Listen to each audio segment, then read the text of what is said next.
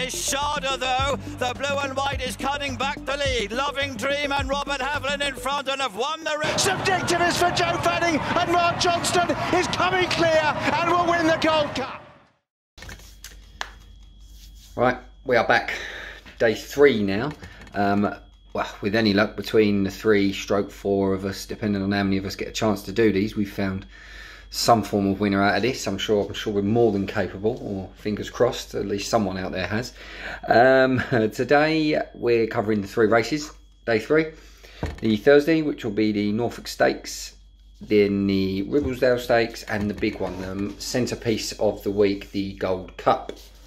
So I'm going to get straight into it with the Norfolk Stakes, the five furlong sprint. Um, again, it's another tricky one. Um, a lot of unexposed horses in this, and then a lot with just ones by their name. I mean, you've got Aidan O'Brien looks to be uh, starting day three off quite strong. He's got, I think, the top two in the betting at the moment with uh, Blackbeard and the Antarctic, uh, I believe it is. Uh, again, both unbeaten. Uh, Blackbeard, I think, unbeaten in three this year. The Antarctic, I think, one so far, but a convincing one. Um, obviously, with O'Brien's, the jockey booking is going to be key. We know that most of the time anyway. It's not like he hasn't got an arsenal of jockeys anyway to rely on, but we know where Ryan Moore tends to go. Would most likely be his favoured choice. Again, hasn't always worked out that way. We know how it works. Buick's done it the same with Doyle, with Godolphins they tend to get it wrong. Um, I personally have gone for Blackbeard.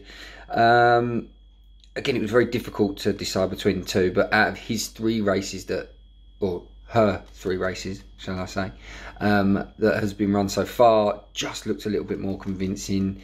Uh, can run a bit green in the early stages, which again is a concern with a five furlong race, but should have enough experience in the bag now to to get this one in at six to one um, would be me starting the day off with an O'Brien. But again, in that race, talking of the Godolphins, you've got Noble Style, who also unbeaten.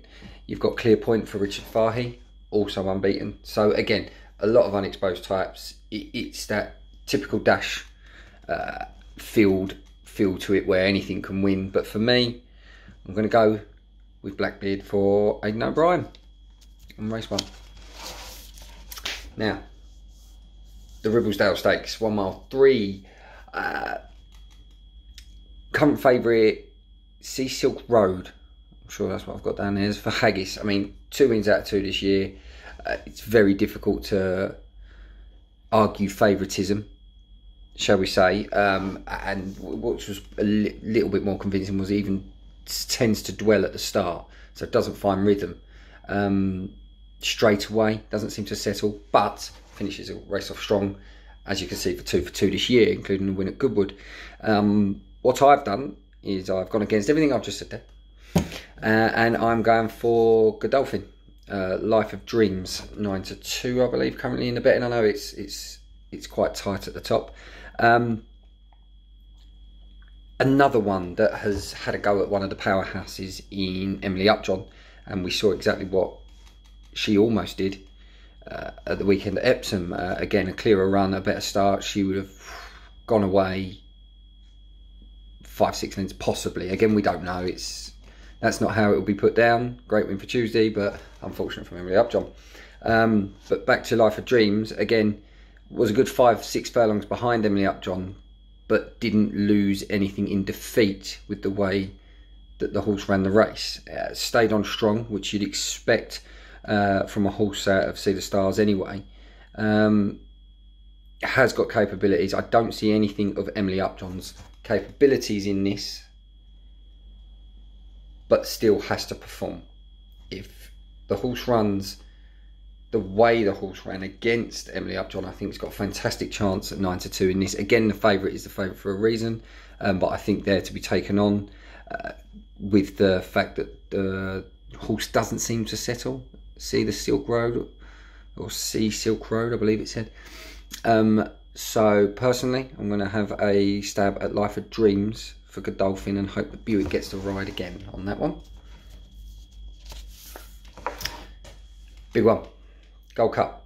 Now I've put here Trueshan versus Stradivarius. Uh, I do genuinely only see it between the two of them.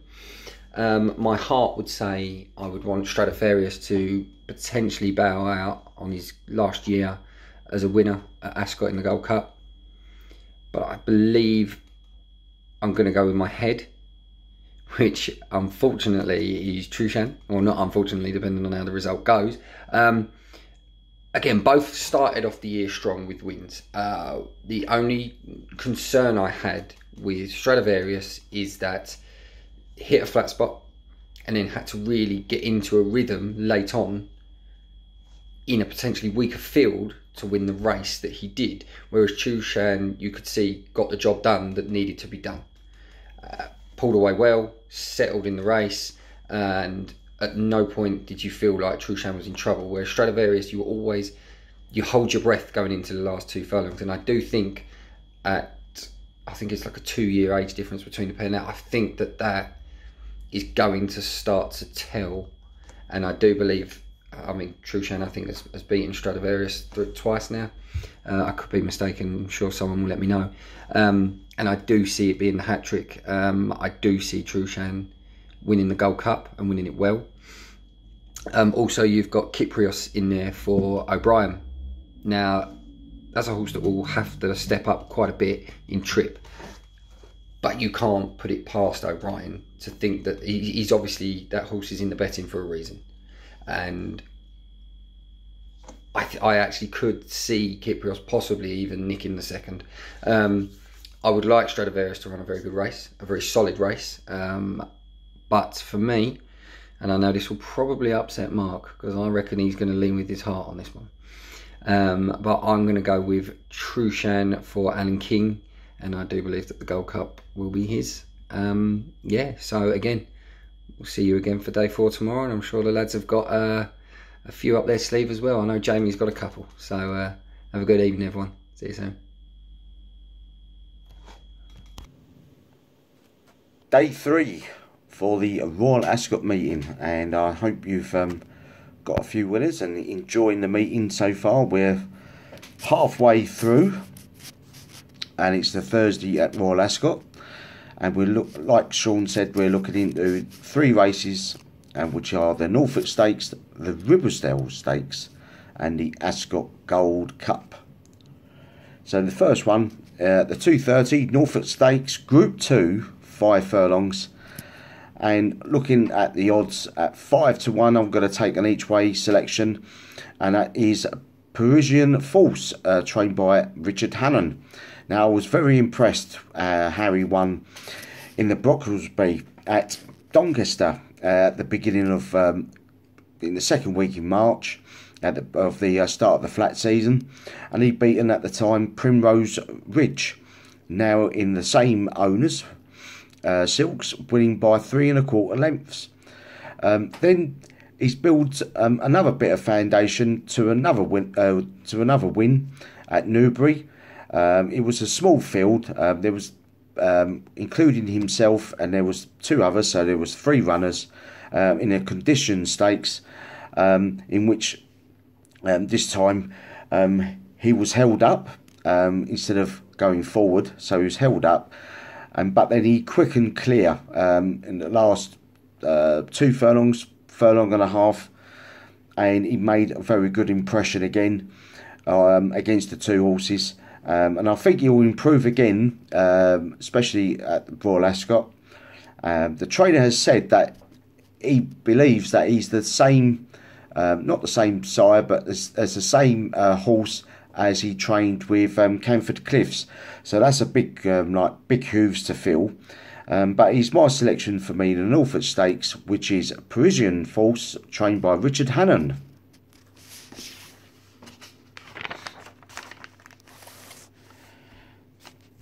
Three forty, and it's the Ribblesdale Stakes Group Two, one mile, three furlongs, and the important two hundred and thirteen yards. And my selection is Emily Upjohn.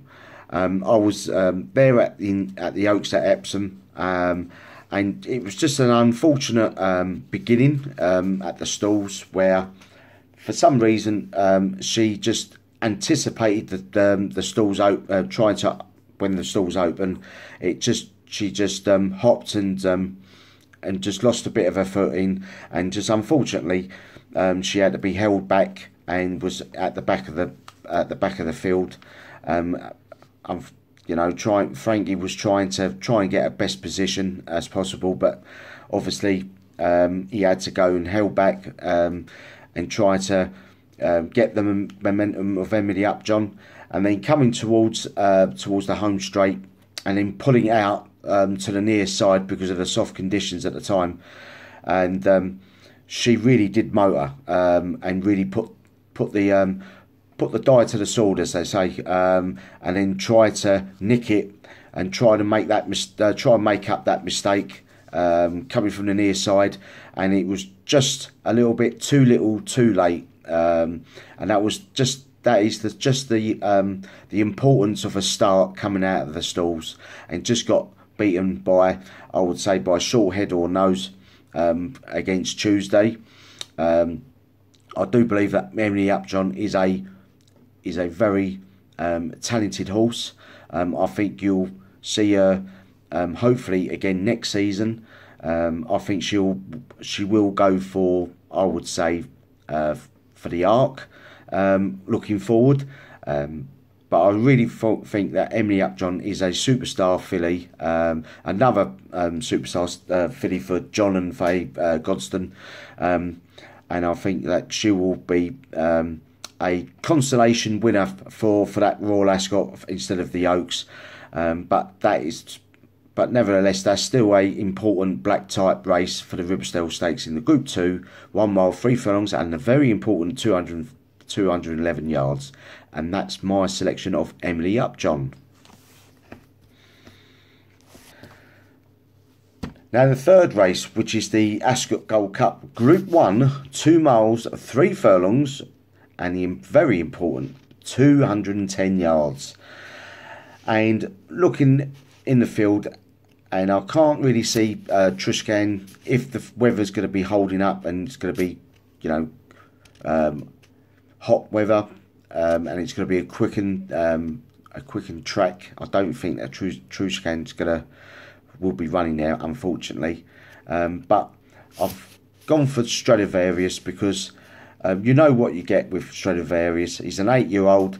He's won uh, three uh, Gold Cups, Ascot Gold Cups, um, and I've unfortunately again in the in the Arc and also in a in a in another um, and also at the Royal Ascot um, in the in the Gold Cup from last year, I think, when we had didn't have no crowds or or anything like that. Um, he was running on good um, soft conditions. Um, I don't think he, he suited suited um, the horse Stradivarius. It just didn't really bow that for him. Um, so it would be great to see the Stradivarius winning the fourth Gold Cup um, for the eight-year-old, um, and which he's still a colt, which is a very good um, training uh, feat for John and Thady Gosden. I think you know, it's it's hard to you know it's it's easy to have a, an eight year old gelding, but it's very hard for an eight year old colt, um, so to speak. Um, but the ground conditions will be key. But I'm sure looking at the weather forecast through the week, there there isn't significant rain. Um, obviously, um, Ascot will be putting water on the track, um, just to um, you know not to go on really quick um, conditions. But um, I hope he, he's still got the um, the the kicking speed um, as he coming off the home bend and, and into the home straight. Um, I think it, I really do like to see him winning the fourth Gold Cup again. Like I said, uh, he's my selection for the Gold Cup.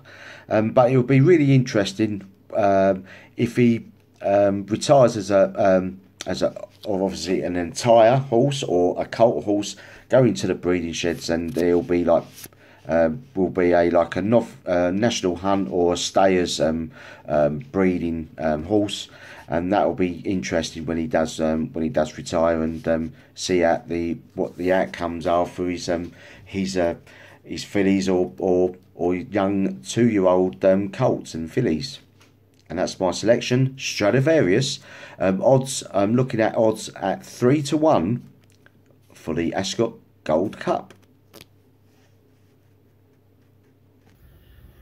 Right, folks, here we are on to the third day. Glenn again for Money Rider, give you my selections for day three. Um, just the three races today um, that we look at. Uh, the first being the Norfolk Stakes. Um, as Sean said, it's another tough one, really. You know, they've, they've all got a win in the win column.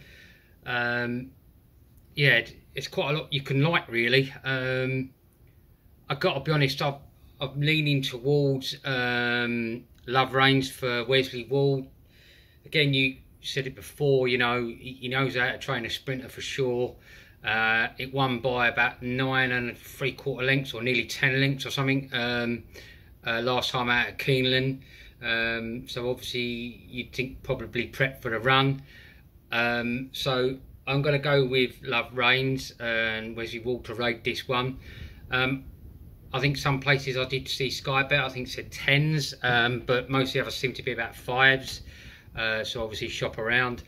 Um, but then having said that, I also quite liked uh, David O'Meara's um, uh, Maria Branwell. Um, one, two at five furlong so far, so you can't exactly argue with that. Um, obviously, what she's beaten, you know, might not be anything spectacular, but at 16s, 14s, around about that, um, which most of them are offering, um, is not a bad each way price. So I'll probably chuck that one in there as an each way maybe. Um, yeah, so that's my selection for the Norfolk Stakes. Uh, Love Reigns, uh, Wesley Ward. Um, moving on then to the Ribblesdale Stakes. Um, well, I'm not going to really talk too much about this one either, really, because all honesty, I think Jamie said it all. Um, for me, Emily Upjohn's in there. Uh, she does appear on the sites as a favourite.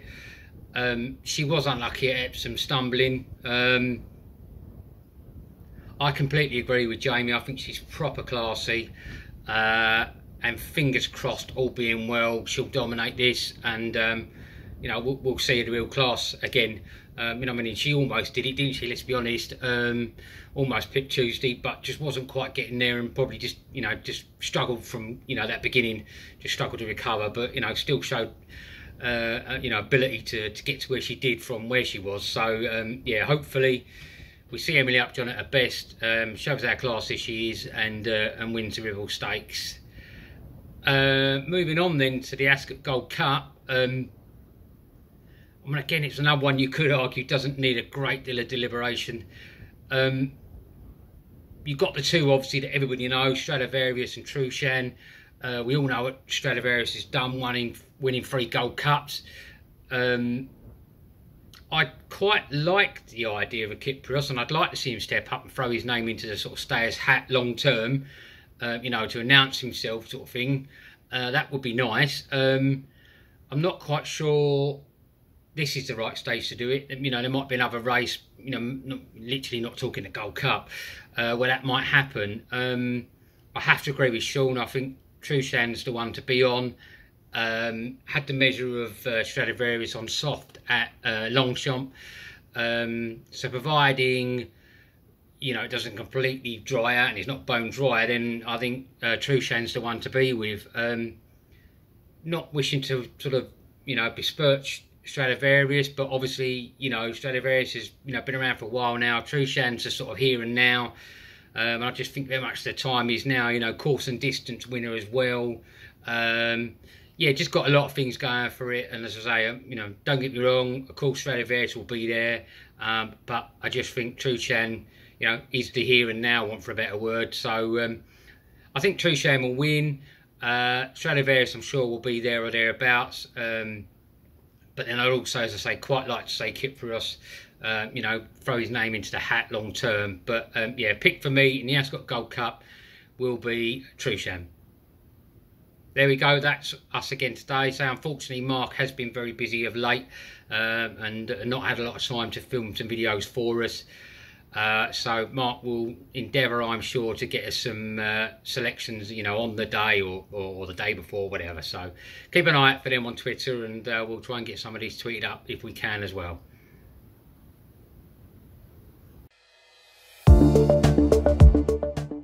Races towards the line, and Palace Pier is the winner of the Queen Anne. Lope He's been busy. He's very talented. He's very tough. Poetic Flare has won in great style. Lucky Vegas just second to battle.